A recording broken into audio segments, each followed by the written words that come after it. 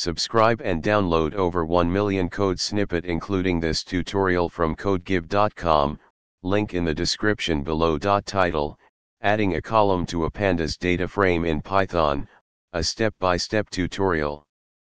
Introduction Pandas is a powerful data manipulation library in Python that provides high performance, easy to use data structures, such as data frames.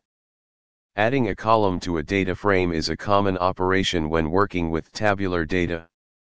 In this tutorial, we'll walk through the process of adding a column to a pandas data frame with code examples.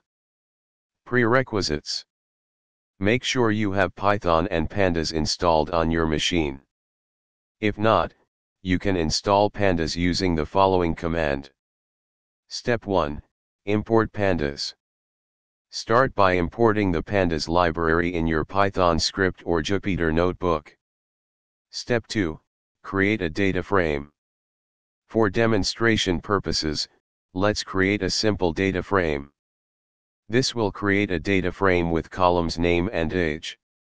Step 3, add a new column. Now, let's add a new column named city to the data frame. You can do this by simply assigning values to a new column. This will add a new column city with the specified values. Step 4, add a column based on existing columns. You can also create a new column based on calculations from existing columns. For example, let's add a column age after 5 years.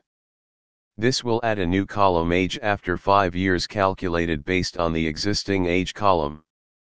Step 5, adding a column using a function. You can use a function to compute values for a new column. Let's add a column status based on age.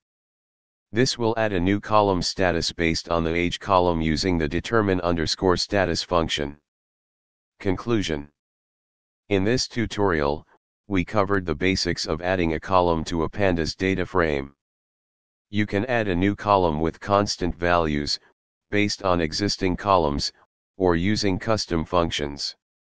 Understanding these techniques will empower you to manipulate and enhance your data with pandas. ChatGPT